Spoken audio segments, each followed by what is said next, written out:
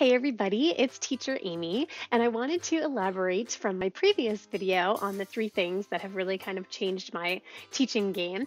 And this is for number two, which is CamTwist. CamTwist is a digital effects program that is only for Macs and it is free. And it is a digital effects program that allows you to put pictures and effects and all kinds of cool stuff right on your video feed um, within your VIPKID classroom. Um, so I, this is kind of like the 101 super basic version of CamTwist. If you just downloaded it today and you're interested in it, but you don't know what it's all about, then this is the video for you. So first things first, CamTwist, the icon looks like this. Sometimes when you open it at first, nothing will pop up on your screen. If that happens to you, just make sure that CamTwist is up here in the gray bar. Click on View. You want to open the main window, and then you also want to open the preview window, which is where I am right now. This is going to show you exactly what is going to show up on your video feed in the classroom. So you want to make sure that you can see this when you're setting things up so you don't put an image, you know, right over your face. Once you, the first time that you open this up, um, you're going to need to click on your webcam. This window will be black until you click on that, and then you'll be able to see yourself. So that's step one. Over in step one, the only two things that I use here are webcam and desktop plus. The other things are not things that you would really need to use in the classroom, so just don't worry about them right now. Step two is effects. There are a lot of effects in here. There's lots of different ones. There's uh, bubbles can come up on your screen, and um, my favorite one is down here, the twirl. I like this one. I used this one in class this morning. My kid thought it was hilarious. Um, there's a lot of different ones here. There's the squeeze and the stretch. So, you know, all these ones that are from um, Photo Booth and so forth.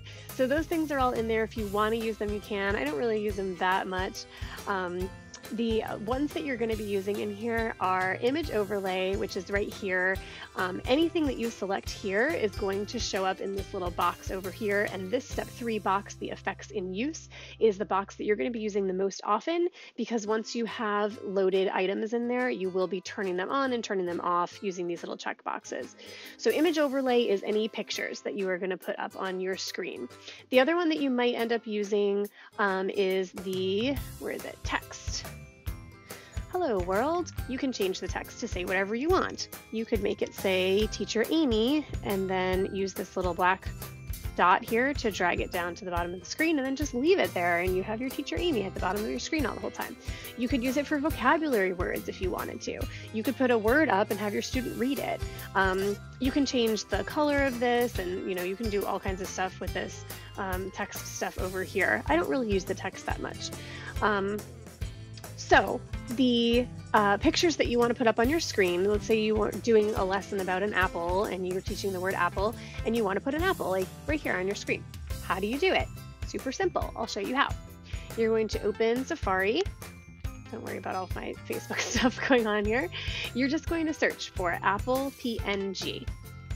PNG files are just files that have a transparent background so that you don't have like a white box surrounding your um, image when you, where did my preview window go? There we go. You won't have a white box surrounding your image when you put it up on your screen. It's not the end of the world if you do, it just looks nicer in the classroom if you have a transparent background. Now, I have done this one before, so I particularly know that this apple is an actual PNG file. Sometimes just because it has the checkerboard in the background doesn't necessarily mean that it's a PNG file, but usually it does. I'm going to do a two finger click on this and I'm going to save my image to downloads. Now my downloads file folder happens to be down here because that's where I put it. If yours is not, you might have to go look through your um, your Finder and be able to find them here. But wherever your downloads folder is, that's where you're going to open. You're going to go find the apple. I've done I've done several versions of this tutorial, so I have several apples here. You're going to go find it, you're going to click on it, and just drag and drop it right into that box. Oh, there's the apple, super cool, but it's over my face. Um, we're going to fix that in a minute, but first, the very first thing you want to do before you do anything to change the apple is to name it.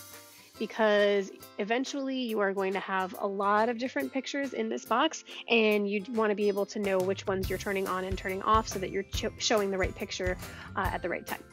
So we've named it Apple. We turn it back on again. These settings over here are for size. You can make it as big or as small as you want, and this little black dot moves it. So you put it right there. Ta-da! Ah, ah, apple instead of using a flashcard.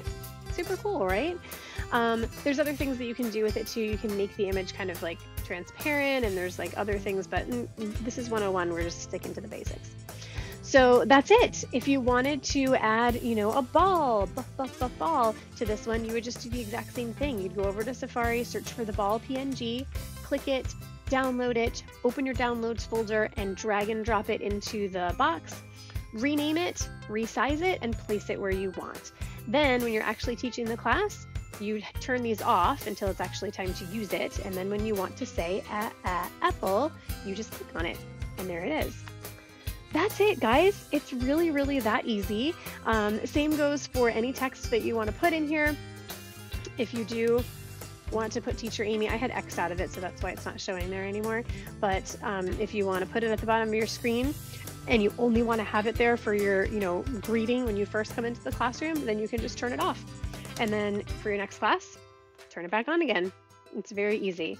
There is a way to save these setups. So if you have Apple and Ball and you know that you're going to be using those two, like in the pre-VIP trial, um, then you can save that setup so you can use it again later. But that is, again, kind of a CamTwist 102 thing. So don't worry about that right now. This is just very, very basic how to put those image on your images on your screen um, I think that's it. So I hope that you guys got something out of this, and please let me know if I can help you. You can comment, let me know, and I hope that this helps you guys out. Happy teaching!